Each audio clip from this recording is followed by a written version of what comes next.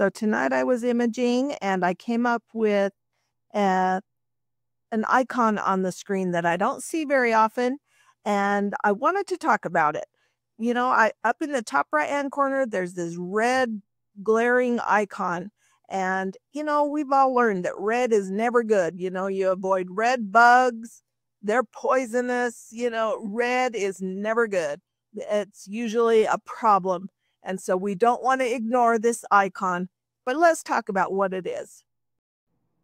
So I have stopped the imaging that I was doing, and then we come back to this main screen. And that icon has disappeared. That's because I'm not imaging currently. Um, but what I want to talk about is what that icon means. And it's a little square box thing. I'll enlarge the image so you can see it. Um, but what it is telling me is that there's a memory problem. And red, it means stop. So, you know, it's not that the machine is going to blow up or anything, but what it's telling you is you're going to be wasting your time if you keep imaging because you haven't cleared the memory off of your SeeStar and we're getting too full to save any more or very much more of the images that you're imaging. So don't set up a plan and run it for six hours and then not expect to get up in the morning and find out that it stopped a half hour in because you didn't have enough memory. So how we know this is we can go to the main screen of our Seestar. I am connected to the Seestar and I'm just going to click on the Seestar.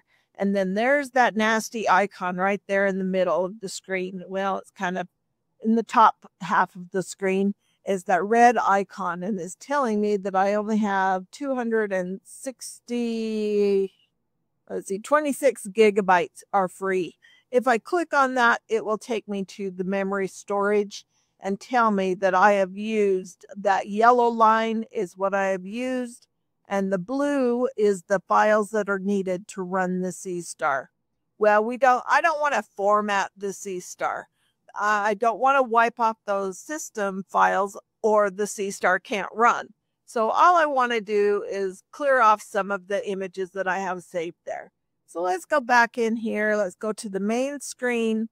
If I click on my album, these are um, the images that are saved, but the how I find out what's saved on the SeeStar is I click the little Seestar icon in the top middle, and then it takes a minute to load it. It's taking a little bit when it loads like that because I've got so many on there. So you see, I have a whole bunch of things on there. And I have just been neglecting cleaning up the storage on the SeeStar. And so that's what it's telling me I need to do. So um, maybe I think what we'll do is we'll go through how to do that.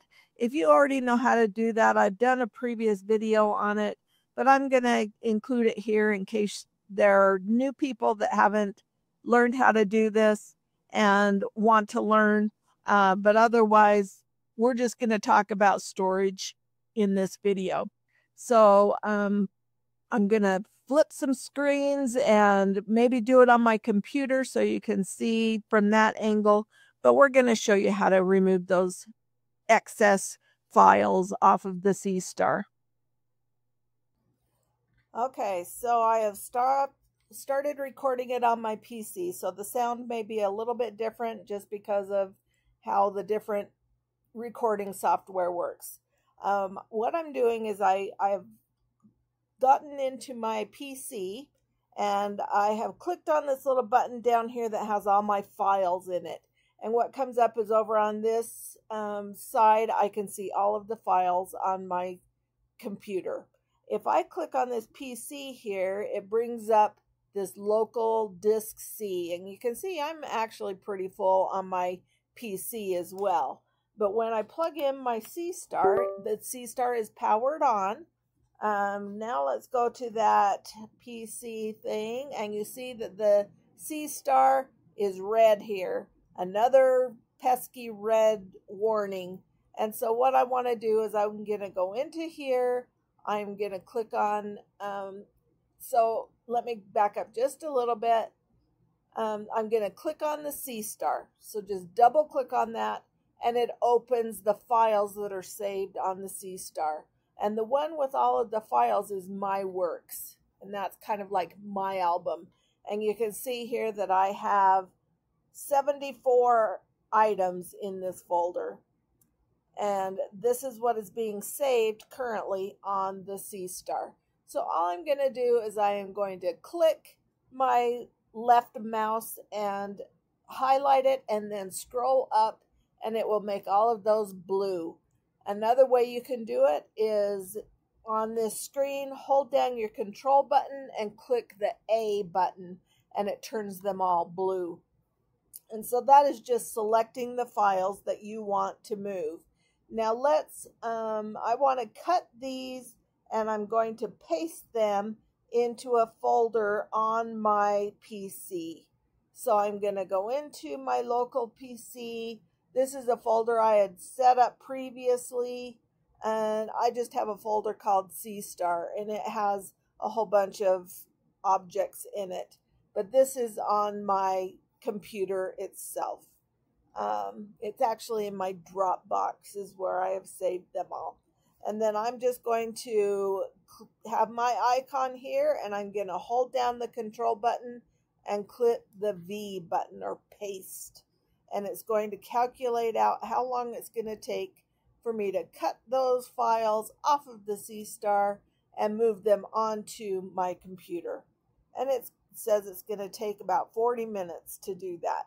Well, I, you don't want to sit here and watch that 40 minutes, but that's how you do it. So let me go back in while it's running and I'll show you again how I did that.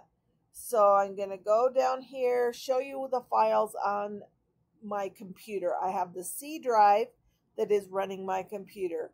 And then I plugged in the Seestar, which is turned on, and now it connects as a D drive, which is my Seestar. I double click on that and then I click on my works and then that opens all of those folders that are saved currently on my Seestar. And there's quite a few of them. So now I'm going to um, hold down the control button and click the A key and that will highlight them all. Another way you can do it is just come down here to the bottom or the top and then hold down your left mouse button while you scroll and it will also highlight all of those. Then I'm going to hit the cut button. I'm not actually going to click it this time since it's already running, but I'm going to cut those files off of my Seestar, which is this folder right here. And then I'm going to go into the folder that I have for my Seestar files. And now in here, I'm just going to hold down the control button and click the V, which is paste. So we've cut those files off of the Seestar and we're going to paste them into this Dropbox documents folder. So that is how you do the file transferring. And you can see that it's, it's still going to take quite a while. It's only 5% complete. It had 28, almost 29,000 files on it. And that's how I'm going to remove those files from the Seestar. Since I cut them and pasted them, it will remove those files from the Seestar once it pastes it into this Dropbox folder that I have created. If you were to copy them, let's go back and I'll show you where that is. So let's go to the Seestar. Let's see the the My Works. If you were to select them all and then click this button right here that is copy, and paste, it would leave them on the Seestar and just copy those files and paste them onto your computer. Some people like to do it that way and then go in and remove them. Um, I either way works just fine. I find the cut and paste works fine. And you'll notice that when I go back to the C drive, it's already begun doing that file transfer. It's done 8% of the file transfer so far of those 29,000 or close to 29,000 files, 8% is done. And it's already made the Seestar's memory less, so it's no longer red because it, it turns red when it's getting near its capacity. And it's cutting those files that it's already worked on and pasted them into my computer and removed them from the Seestar. So this this line will continue to go down this way and you you can see the progress there You can also hover over this file button down here and then kind of hover over this box and it will tell you how many are completed. It will tell you an estimated time of how long it's going to take. Um, but that's how you transfer files from the Seestar to your computer. Now, what are you going to do with those files once they're on your computer? Um, I've clicked on my Dropbox folder and my Seestar folder because that's where I'm saving them is in this Dropbox and a documents folder and then I labeled one of the folders Seestar and that's where I paste them all. Well, once they're in here, all you have to do is, let's find one that's um, got files in it. You click on that folder and there are those files that were on the Seestar at one point. These are the actual JPEG files that have been stacked already. That's why these files say stacked. It tells me, so this one has stacked 116 of C7 under 10 second exposures. And then it, it gives you some little information there, the date and things like that. This one is stacked 235 of C7 under 10 second exposures. And so there is some information in the file name that that can be beneficial too. Um, so if you if you need to find the files by name, you can still do that. And so all we're doing is clearing up the memory on the Seestar so that it can save more in the future. So that's how you transfer those files from the Seestar to your computer. Hope you enjoyed this. Hope it was helpful. Hope that scary icon doesn't come up and it feels kind of like when your check engine light goes off on your car. That first initial time you see it, it feels kind of panicky. But don't panic. There's a reason it's there, and it's to just give you a heads up that you've got to clear that off so that you don't waste some time imaging. Nothing will blow up. But I hope it's been educational and helpful. Uh, feel free to message me with questions. I know Mac computers run a little bit differently, but it's the same concept. You just need to have a folder on your computer and transfer those files from the Seestar drive to that computer drive. And hopefully everyone can um, do that on their own.